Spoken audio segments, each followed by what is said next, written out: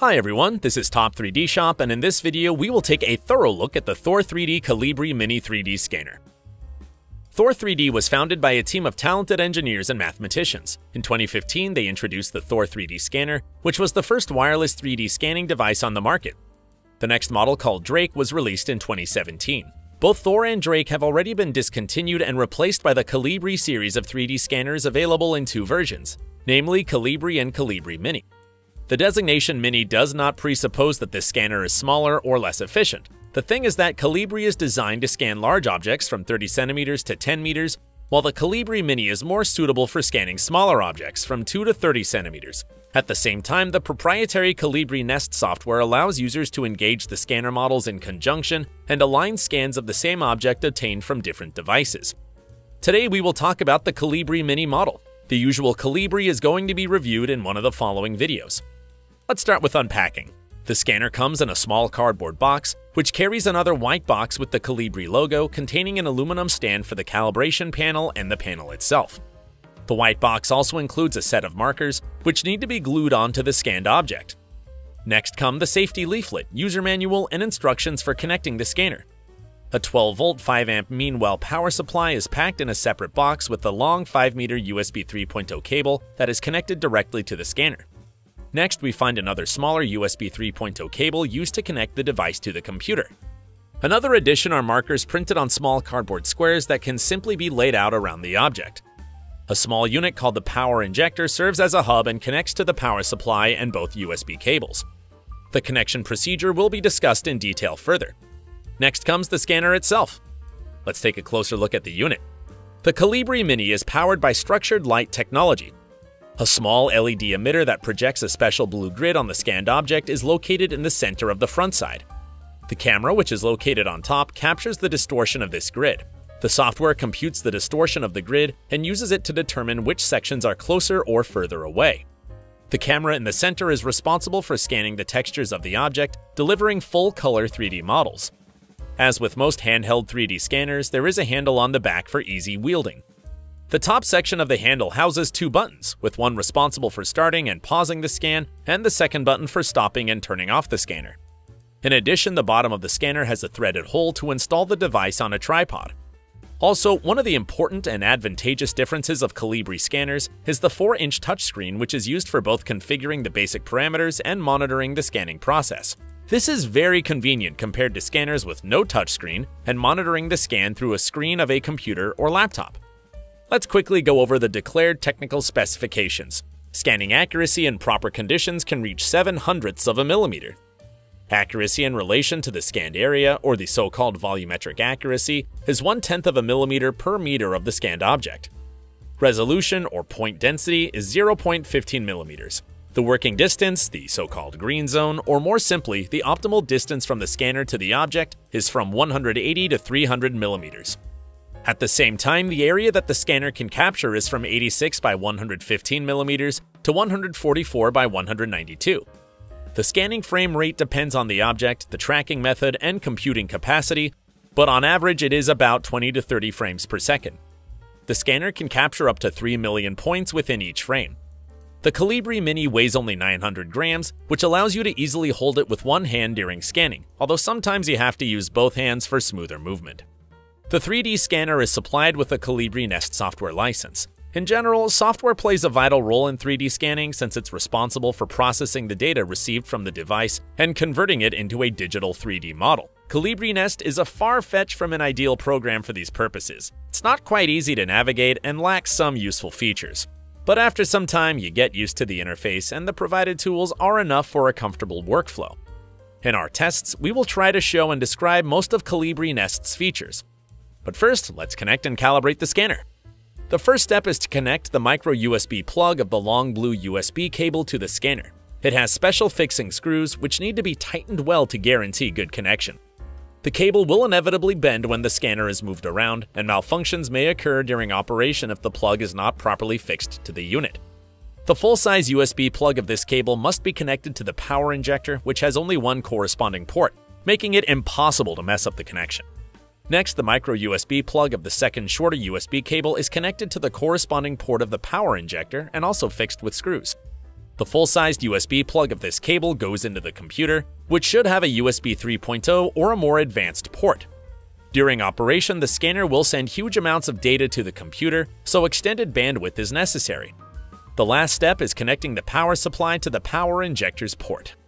At this point, the scanner is already up and running, but can't be used since we need to install and start Calibry Nest. The latest version can be sourced from the download center on the company's official website. The scanner will fully load after launching Calibry Nest, and its menu will appear on the screen.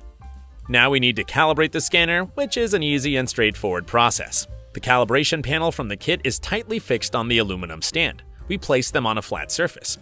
Press the button with three stripes on the scanner's touchscreen, choose the Settings tab, and select Calibration. The scanner should be aimed at the calibration board before pressing the Start button. The screen will display two black and two orange circles. They need to merge together by moving and slightly turning the scanner.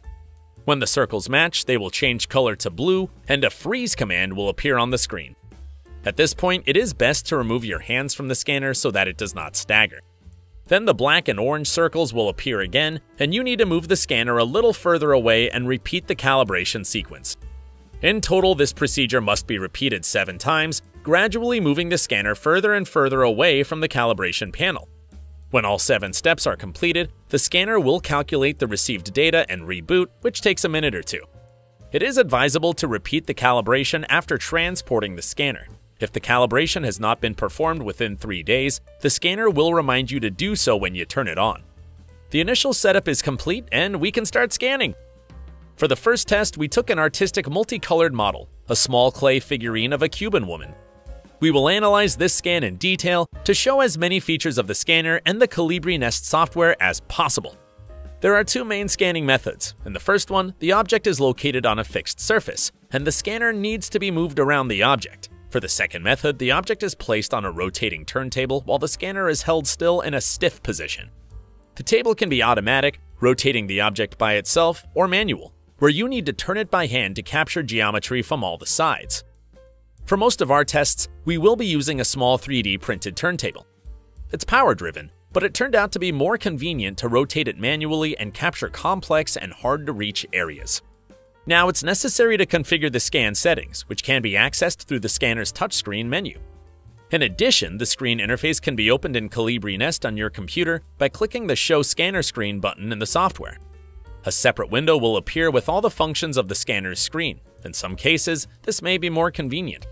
So let's check the interface. A list of all the previously saved scans appears in the center of the main screen. You can name the scan in the upper section. By default, the name is set as the current date. The button with three stripes is also present. As we have already seen during the calibration, it can be used to access the settings. Here you can also choose the language. The next step is to adjust the texture brightness. The number of texture frames determines the frequency with which the texture camera takes shots. If you don't need textures at all, you can set it to zero to save disk space and computing capacity. The next slider controls the screen frames.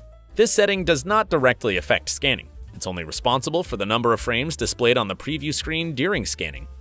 There is a default button that resets the settings and the calibration button discussed earlier. The round button in the main menu at the bottom accesses the preview menu. The window is located in the center and used to ensure that the main parameters are correct as well as to control the scanning process. The upper left corner shows the number of frames per second. A lightning bolt icon on the right hand side is responsible for the flash and has three modes off, medium, and full. The flash is needed to capture better and more uniform textures. The button in the form of a drop nearby controls the projector's brightness and has three modes. And this is perhaps one of the most important scanning parameters. For dark and black objects, you need to use maximum brightness, indicated by the drop button being completely filled, since black objects absorb the light of the projector. For bright and white objects, the drop should not be fully filled so that excess light does not reflect from the object and generate noise. There's also an average value with the drop half filled. There are also several buttons below the preview screen. The three buttons on the right manage the same options that we've already seen in the settings menu. Next is the calibration check button, and the live 3D mode that generates and displays a preliminary 3D model on the screen during the scanning process. The button with the three dots is used to adjust the same three parameters texture's brightness, texture frames, and preview screen frames. Another very important parameter is located in the bottom right corner. It manages the object's features used for tracking. There are three of them Geometry tracking means that Calibry will be guided by the specific features of the object's geometry during scanning, such as holes, curves, protrusions, and so on. Individual frames will be combined using these features, forming an integral point cloud. The second type is tracking by markers. In this case, special markers that we saw when unpacking should be placed on or around the object, and the device will use these markers as a reference when scanning. And the last type of tracking engages textures. If the object has vivid image designs or patterns, the scanner will use them to match the frames. Here, it is worth noting that there is no tracking mode that combines the first two, as with Shining 3D scanners, for example.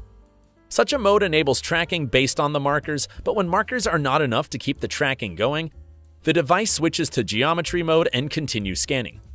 Calibry is not capable of doing this, and if it loses sight of the markers, the scan immediately stops. It would be nice if such hybrid tracking was added in the next firmware and software updates. Now that we've covered the interface and basic settings, let's move on to the first test scan. For this figurine, we engaged textures, set the projector's brightness to medium, and turned on geometry tracking. The figurine is placed on the turntable with the scanner aiming from a distance of 180 to 300 millimeters.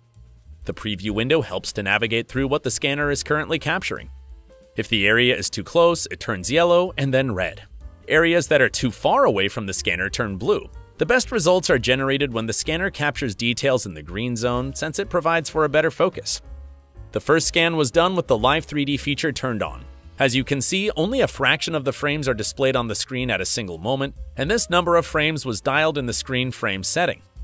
We could continue scanning in this mode, of course, but it's quite difficult to monitor the scan progress and understand which areas have been captured. Therefore, we went the easy route and turned Live 3D on. In this mode, Calibry immediately displays a preliminary 3D model, highlighting the areas that have been captured and the areas that still need to be scanned. The necessary data is gathered by smoothly moving the scanner in front of the object at the appropriate distance. Since we are scanning with the turntable, there is no need to walk around the object. The object is rotated on the table's platform by hand, allowing the device to capture the geometry from all sides. The only thing to keep an eye on is that the hand shouldn't get into the camera's field of view and generate noise and unnecessary geometry in the scan. You need to tilt and turn the scanner at different angles to capture the surfaces and the holes and dents. The whole process of scanning the figure in a standing position from all sides took about 2 to 3 minutes. In general, this is enough to get a decent 3D model, but just in case, we decided to scan the figure also in a lying position in order to capture the geometry from below. The figurine is hollow, and we managed to get parts of the inner surface. Naturally, not all of it, since light can't cover the entirety of the inner surface. After scanning, we went to the computer to process the data. The list of all the saved scans appears on the right side of the screen. Starting with the first one, we see a simplified point cloud in the central window. On the left, you can expand the Frames tab with all the individual scans. In our case, there are 4,614 of them. Each scan is a small point cloud. Together, they form a complete model. Scans can be selected in groups, deleted if necessary, and groups of frames can be divided into individual projects. As you can see, there's quite a lot of noise, but this should not be an issue since this is a preliminary point cloud. In order to get the final 3D model, we need to go through two main steps, registration and finalization. When registering, the program will align individual scans with each other, and finalization will create a comprehensive 3D model from the point cloud. Click the gear icon, located on top, to configure these processes. There's only one parameter in the registration section called preliminary cleaning. It'll remove unnecessary noise from the scan. This option should be enabled in most of the scanning sessions, except for scanning hair or extremely small details. The finalization section offers much more parameters. Resolution is responsible for the details on the final model. The value here can be set as deemed fit up to 1 hundredth of a millimeter. But this is not advisable since it will drastically increase the processing time and result in a flawed scan. The minimum allowed resolution for this scanner is 15 hundredths of a millimeter but in most cases, a resolution of 2 to 3 tenths of a millimeter is enough. The hole filling option is obviously needed to automatically fill in the holes that result from insufficient coverage of some of the object's geometry. You can fill all the holes at once, select the maximum radius of the holes that will be automatically filled, or refrain from hole filling at all. Next comes the sharpness slider. A smaller sharpness value will create a smoother model. At the same time, increasing the sharpness brings out the defects on even surfaces, when scanning with markers, one also employs the Remove Markers function. We'll see how it works later since we don't have markers in this scanning session. Filtering by size allows you to automatically remove unattached areas from the scans. You can either remove all of them except for the largest part, or set the maximum number of polygons for the parts that need to be removed. The last finalization parameter is simplification. Scanned models can have extensive numbers of polygons, which require high computing capacity to process, making the processing of such models problematic. With this function, you can simplify the model to a specified value expressed in the maximum number of polygons or as a percentage of their total number. The last section is responsible for the model's textures. Here you can only select the texture frame's resolution. Again, you can leave the maximum value if the computer is powerful enough. There is a certain number of ready-made presets for all these parameters. Calibry Mini has two of them, human and industrial. It is possible to create and save your own presets, as well as reset the settings to their original values. You can start the registration and finalization of the model by clicking on the button with the play symbol on top or using the F5 hotkey. You can run these processes individually with the right mouse button click. A minute after starting registration, we see that the point cloud began to look much neater and cleaner. All scans matched perfectly, and extra noise was removed. We performed the same procedure with the second scan, where the figurine was lying on the table. These two scans are not aligned with each other, and in order to do this, you need to launch the initial finalization.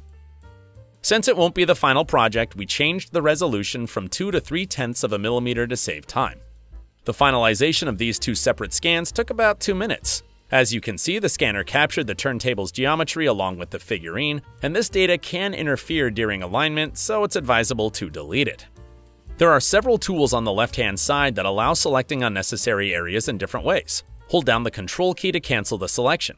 We selected the excess geometry on both of the scans and pressed the Delete button on the keyboard. Now we need to align these two scans with respect to each other. Select the two resulting 3D models by holding down the Control key. The Align by Points button will appear on the left, giving access to the alignment menu. The left window contains the scan that will be used as a reference for alignment. The center window displays the scan that will be aligned. The result of this alignment is shown in the window on the right. It's always advisable to choose the most complete model as a reference for alignment by right-clicking on the corresponding scan and selecting Set Base. Now it's necessary to highlight the common points for both models with a minimum of 3 points. Highest accuracy is not required at this stage, but the precision of the selected common points will generate a more uniform and accurate scan alignment. The next step is the so-called multiple registration and finalization. The main difference is that in this case, individual frames from both scans will be aligned based on the point selected earlier. Click on the button next to the pre-registration button and start the multiple registration. The two resulting scans already look much more uniform. Although we removed the extra parts from the finalized models, they are still present in the point clouds. Oddly enough, these extra points contribute to better alignment during the multiple registration process. But now they can be removed from the point cloud since we will no longer need them.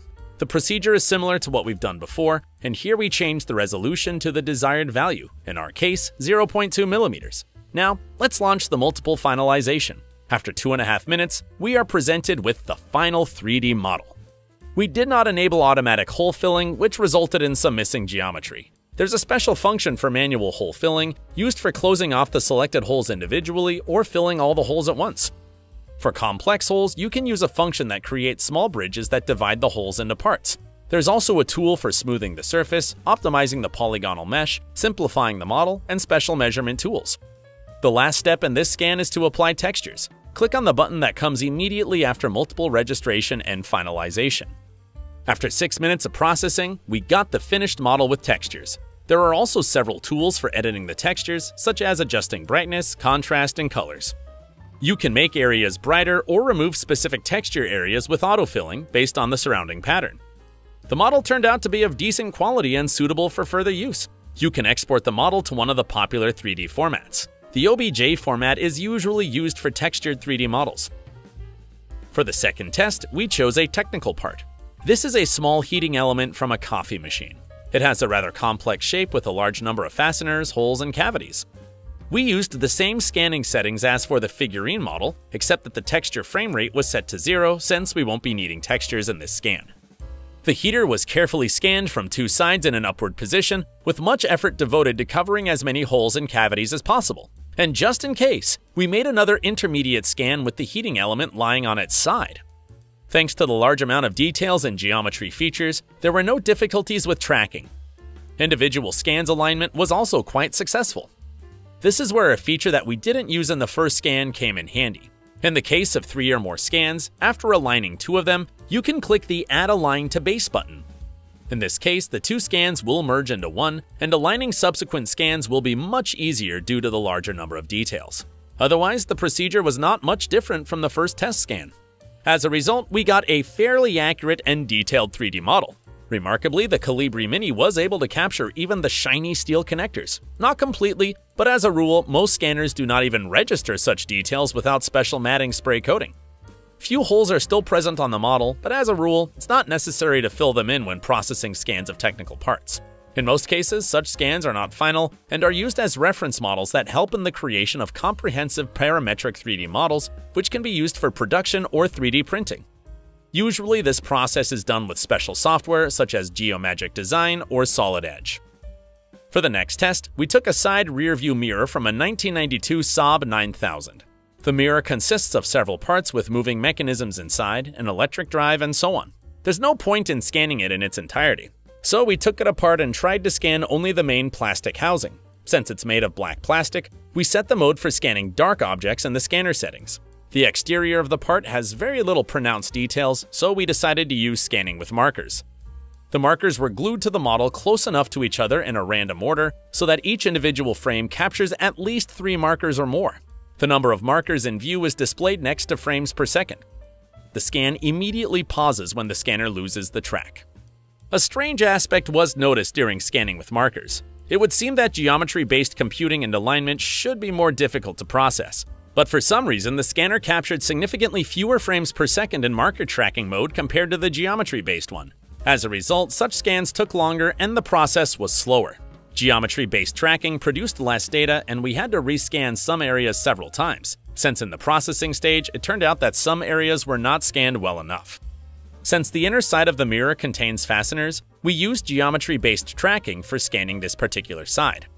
Aligning the internal and external geometry scans experienced no issues. In this test, we used a rather useful function for pre-finalization and multiple finalization. Instead of removing the unnecessary geometry, such as the turntable, we enabled priority mode, selected the parts we needed, and set them as the main object. The extra parts disappeared from the view window and stopped interfering with the process. However, these parts will still be taken into account during scan's finalization. This function turned out to be very convenient, as a result, we captured the majority of the mirror's geometry. Of course, there are areas that could not be captured, but the data received was quite enough for further use. The only thing that confused us was that the markers had left small bulges on the surface. At the same time, the marker's automatic removal function does not eliminate the markers only, but also cuts through the model's surface. The holes resulting in this case are very hard to fill in, greatly distorting the geometry of the model. Of course, you can leave these holes and they should not interfere much when remodeling, or you can manually select the marker protrusions, delete them, and fill in the holes individually. The marker's automatic removal function seems to need improvement since it's inconvenient to use in its current state. For the last test, we went with scanning a human ear and hand. The manufacturer claims that the Calibry Mini's blue light is very efficient in scanning human skin, and scanning individual parts of the body can be very useful for medical applications. There were no significant difficulties in scanning the ear, except that it turned out to be almost impossible to scan the backside of it since it was too close to the head and hard for the scanner's light to reach. Some areas inside the ear were also hard to scan. However, the Calibry Mini was able to capture hair with no difficulty. The projected light didn't get caught in the hair, and the camera was able to capture it efficiently. The situation was a little more complicated when scanning the hand, although there were no areas that couldn't get covered. The main difficulty was keeping the hand absolutely still throughout the entire scan. No matter how hard we tried, the fingers sometimes trembled, affecting the final result in a negative way. Of course, you can scan a hand from one side while placed on the table, but it's simply impossible to scan it from the other side without changing the finger's articulation. Roughly speaking, it is possible to scan a hand, and it's a simple process for the person operating the scanner, but the person scanned must have a good deal of self-possession to hold the limb still. Let's draw the bottom line. Overall, we're definitely satisfied with the Thor 3D Calibry mini scanner. First, it's convenient to use, especially thanks to the built-in touchscreen. Secondly, the quality of the resulting scans is decent and fully complies with the declared capabilities. We were pleasantly surprised by the quality of scanning black and shiny objects, and we never had to resort to using a special matting spray. Also, the scanner performed well when scanning human skin and hair. The Calibry Nest software didn't feel user-friendly at first, but after getting used to it, we found a lot of thought-through and time-saving features. Undoubtedly, there's still room for perfection, but knowing how the Calibry Nest has been updated and improved before, there is hope that all the missing tools will be added over time. This is Top 3D Shop with the Thor 3D Calibry Mini 3D Scanner review. Subscribe to our channel, leave your comments below, and hit the like button if you've enjoyed the video. See you soon!